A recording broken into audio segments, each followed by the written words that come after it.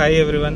Uh, we booked uh, travel for four days, so it was awesome experience. Our travel are for two days Munnar and one day Alleppey and one day in Kochi. Four days are awful awful days. Uh, we we enjoyed a lot. This is our first uh, uh, trip after my marriage, so we had good timing and all. Uh, our driver Santosh, he guided us very well. He's a good man. Yeah.